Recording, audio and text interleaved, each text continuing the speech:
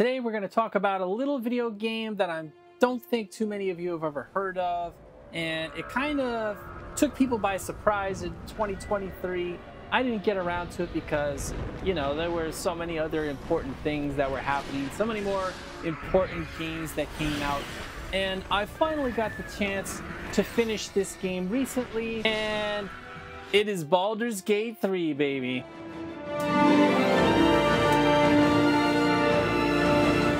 So today we're going to talk about Baldur's Gate 3, my experience with it, playing it on the PlayStation 5 as opposed to playing it on the PC. Is that the best way to play it?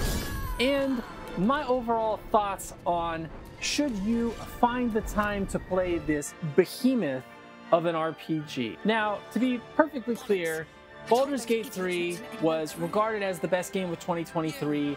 It was pretty roundly believed. In fact, it got to the point where I just kind of took it for granted that it was, even though I hadn't played it. I finally got to play it. I finally got to finish it. I put maybe 120 hours or something into my playthrough. And yeah, I mean, it's definitely the best game from 2023. It's definitely one of the best games of the last several years. I would put it right up there with Elden Ring, to be perfectly honest with you, with one of my favorite games of the past several years. Now, is it my favorite? Uh, probably not, mostly just because it's not my favorite kind of genre of game. The gameplay itself is not my usual cup of tea, so to speak, but the story, the characters, the world of Baldur's Gate 3, the experiences, I mean, the way that the game reacts to what you do, keeps track of what you do, and has others react over the course of the game is honestly incredible. And I can totally see why developers were threatened by the existence of Baldur's Gate 3. Why they said that players should not expect all games to be held up to the same high standard as Baldur's Gate 3. Now, I don't think that any reasonable consumer would say that every game has to be Baldur's Gate 3 now, or live up to that standard, or have that level of detail. Obviously, that's not the case, and the people that were saying that, I don't even know why you bothered saying it. But I can see why they had the trepidation, why they had the fear of the game. It is mind bending to think about the level of detail, the level of choice that Baldur's Gate 3 gives to the player. And not only that, the ripple effect that is present in the game between your actions and how that cascades out and affects other events in the game other areas in the game, other characters in the game, some you've met, some you haven't met. It affects your party, how your party looks at what you've done. I mean, it's honestly incredible what they've done here. And on top of that, they've created some of the best characters in the history of gaming. I mean, you've got characters like Lae'zel, who is ruthless and aggressive and bred for battle, and she so strongly believes in her people and doing everything for her queen and sometimes that leads her to attack your allies and maybe try to kill them. Can you feel it crawling through you? Tendrils squirming in your chest, gripping your heart. In the middle of the night or try to kill you because she, you know, worried that you're going to turn into a mind flayer, But she is fiercely loyal and she can be fiercely loyal to you as you play through the game. You have Shadowheart who has this dark past that she kind of doesn't remember and she's not really sure exactly why she's doing what she's doing, but she's doing it out of blind faith for her Lady Shar. We should keep going. And at the same time, she seems not just because of how she looks, but one of the most human characters that are in the game, even though she's a half elf. You have Wyll, who is this warlock who has made a pact with the devil, or a devil, I should say. And suffer its sting. And he did it to protect his father and his people. But how that plays out over the course of the story, how the devil holds that contract over Wyll's head, and your decisions on how to approach that situation. You have Gale, who is this wizard who's kind of like a wizard Casanova kind of guy who courted this magical god and then just kind of decided that it wasn't for him and he's he's trying to get power but he's so endearing at the same time He seems like a very likable guy, although he could do some very unlikable things at times. You have Astarion, who seemingly always has some kind of a side motive beyond the fact that he has some, you know, needs, we shall say, because of his condition and his past. You have some truly incredible characters, none the least of which is Karlach, who is a tiefling who has had her heart removed because while she was in hell, she was given over to this devil who ended up putting this engine in her that heats up and makes her incredibly strong in battle, but at the same time, it threatens her life as long as she's outside of hell. Now that we're old pals, how would you feel about helping me kill some evil bastards? These characters are truly incredible, they are truly fleshed out, and they are truly memorable. Uh. Beyond that, the characters that you meet over the course of the story are incredibly memorable too. But player choice and characters are two of the greatest strengths of Baldur's Gate 3. Now, on top of that, they have created a truly immersive world.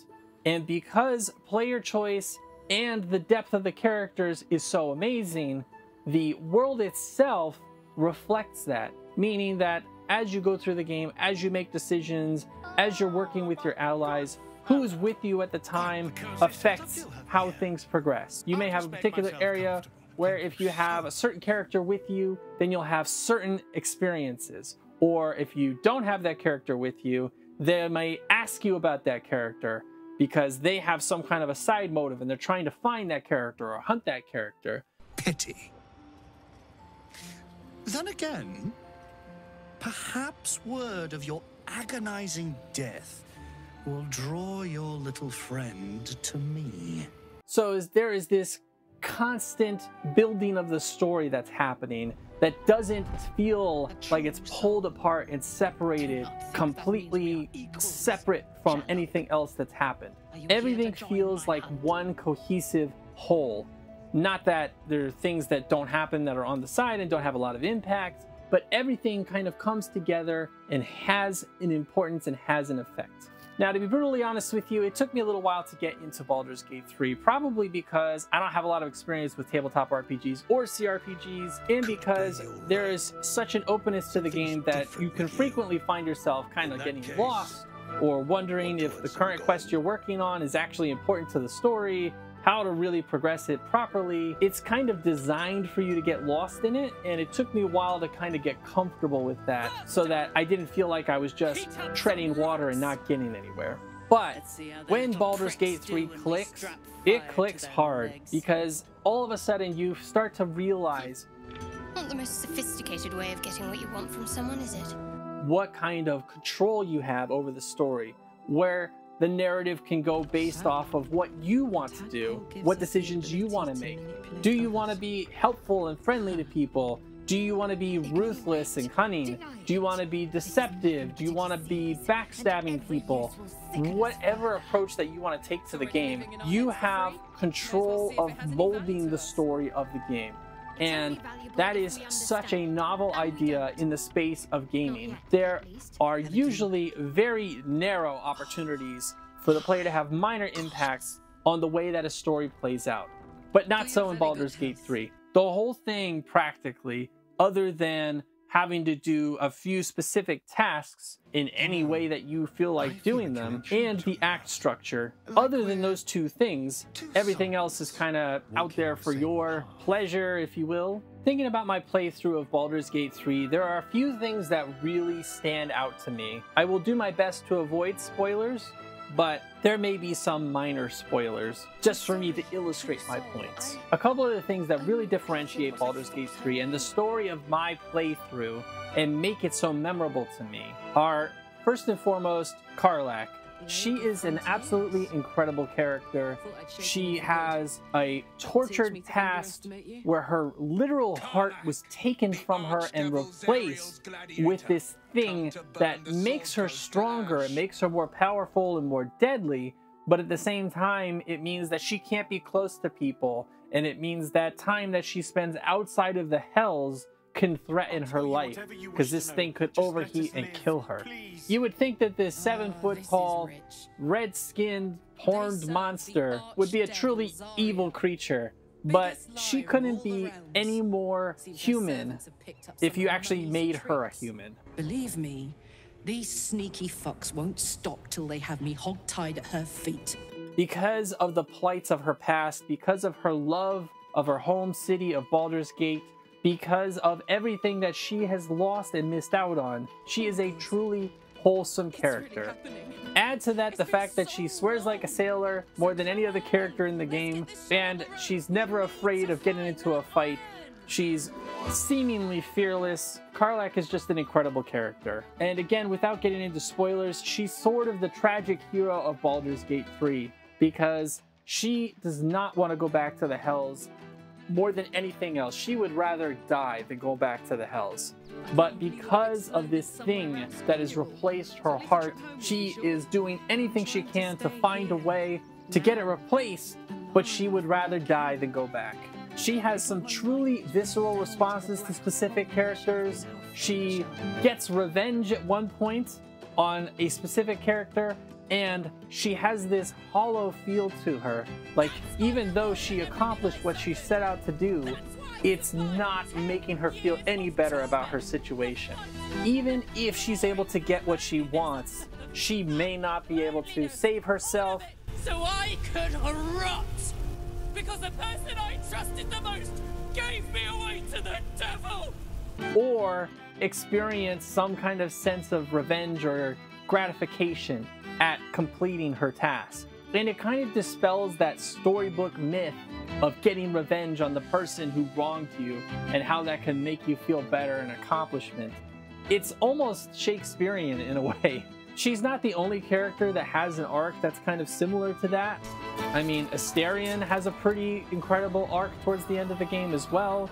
Shadowheart has some really critical decisions to make as she progresses in the game, if you follow her story, I mean, every single character has these incredible storylines that can go one of many different ways. And the fact that you have the ability to do that, and the fact that these characters are so endearing, makes you want to play all of this side content. Sure, you could beeline as much of it as you wanted to. You could probably get through Baldur's Gate much faster. And I'm not talking about speed run. I mean like a full main story playthrough in maybe 50 hours or something like that if you're not focused on any of this side stuff. But you would be missing out on so much. And honestly, I dare you to try to do it because you're going to want to see what happens to these characters. You're going to want to help them and try to make their endings better. Honestly, that's a brilliant way to design your game. If you have the capability of bringing characters to this point where you know that the player will care about this character, I mean, what more of a motivating factor could you have for someone wanting to play side content. I think it's truly brilliant. Now, there's one more experience that I want to talk about, and it just illustrates what I'm trying to say as far as how having these incredible characters leads you to all of these incredible inflection points over the course of the story. So, one of the characters that you meet very early on, his name is Raphael, and he is a devil, and he wants to help you seemingly. But obviously, I mean, who trusts the devil, right? Like, who is going to just be like, oh, yeah, sure, come on, help me out. I, I don't have any worries about you doing something terrible and you having some kind of a side motive to helping me out. So you meet this guy, you instantly distrust him, especially if you have like Karlach with you as an example, and you try to kind of shoo him off, like, yeah, yeah, uh, sure, whatever. We don't need your help, buddy. We'll make our way through it. But Raphael even says to you that you aren't desperate enough yet. But in your moment of desperation, you will come to me and I will be there to help you. And it's just this incredible inevitability, this incredible sense of this is the guy who's got some kind of foresight into the future, and he's telling us that no matter what we do, I stride among the needy, giving comfort where I can. And you're in dire need. it's going to lead him back to him. You know, it's just like uh, Thanos, where he says, I am inevitable. Well, Raphael believes that he is inevitable as well. And as you play through the story, he pops up in other places, and yes, your situation becomes more and more dire. You have fewer and fewer options. You find that certain things that you thought were going to work out don't work out as well, or you're still missing something. And you also get to a point where Raphael may have something that you need to continue the story. So my playthrough got to that point where Raphael had something that I needed, but I wasn't willing to sign over my soul to get it. What can you do in that instance? Well, why not break into his home in the hells and go and try to steal the item from him? It's this incredible experience where you have this looming thought of God, we got to get this thing and get out of here before this guy shows up because he is going to be bad news in his own home. The place itself is pretty crazy. Uh, you find out a lot about Raphael's tastes, we'll say, and uh, it's a it's it's pretty wild to be honest with you. But ultimately, in my playthrough, I did not get out of there unscathed. And before I could leave with the item I came for, who comes popping back up but Raphael to confront me and to say that he gave me my last chance, but this is over the line. I mean, he's the the devil and he's, you know, taking people's souls and stuff, but what I did is over the line. You came here uninvited and you stole from me. In doing so, you brought the chaos of your world into mine. I will not abide. And he's here to make me pay. It's a it's a pretty incredible situation. And on top of all that, you finally get into this battle after a conversation, a couple of other characters pop up that you've met before, and depending on actions that you've taken, they may even take your side in the battle. But then the music kicks in, and I have never heard music like this in a battle that was so perfect for the character of Raphael. I mean, it's it's just like it's so unexpected. All of a sudden, the music that's playing is not just music that's specific to the scene, but it's actually the dude you're fighting that's singing part of the song. It's just incredible. You need to experience it for yourself. Highly recommend breaking into Raphael's house. All right, minor spoiler over. Look, at the end of the day, Baldur's Gate 3 is a huge investment. Just like it was a huge investment to make, and it's a huge investment that other developers are scared of, but Larian Studios has made something incredible in Baldur's Gate 3. That all being said, I cannot recommend this game enough. If you can put the time in and play this game, you will never forget these characters. You will never forget some of these experiences and Baldur's Gate 3 will find its way to the top of your favorites list without question. As for playing on PlayStation 5, would I recommend it? Well, if you're going to play like couch co-op, then it's a great way to play it. Uh, in general, it's a good way to play it, but you can tell that this game is really developed to play on a PC because you're going to get to the point where all of your little wheels and stuff, they end up looking more like um, action bars from a massive MMO or something, like you're playing World of Warcraft and you've got all these skills to cycle through. And it's much easier to just have a mouse and have things in certain areas and click on them, I'm sure, than using these wheels. That being said, Larian Studios has done an amazing job with adapting this to the PS5. It does run well, it does work with this radial use with the R1, L1 and cycling through and all that, I can just tell that there's a bit of a clunkiness or cumbersomeness that would be better on a PC if you have the opportunity to play it that way or if you're already playing games that way. There are some technical issues with Baldur's Gate 3. There's a lot of texture pop in over the course of the game. I mean, I had one point where I had an NPC that looked like it tried to swallow a broomstick and instead it got caught in its cheek and it was just sticking out the side. In fact, it happened to two different characters. I don't know what that was about. There are situations where the lip syncing isn't quite as good or the motion cap is not quite as good. And also the pop-in happens even in cinematics. They're not like a pre-rendered thing. Probably because they typically have your character in it or they have your party's characters and whatever changes have happened to them, their armor and stuff is reflected in there. It looks like your actual characters. It doesn't look like the base character or anything like that. Whatever the excuse is, there are issues with that. It does pop up. It is noticeable. It's not perfect in that regard. But all of the positives easily outweigh the negatives, and I can't possibly tell you how much I recommend Baldur's Gate 3. So let me know in the comments down below what you think of Baldur's Gate 3, and if you didn't get to play it last year, are you going to try to find the time to play it in 2024? That's going to do it for today. As always, I'm Pyyrus for Pyyrus Gaming saying thank you for watching, and until next time, I will see you there.